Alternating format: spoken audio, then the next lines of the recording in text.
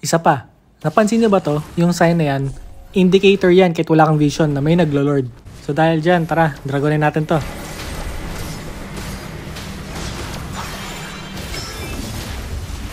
Going back guys sa indicator na nakita nyo kanina sa Lord, kahit walang vision, makikita nyo yun sa mapa.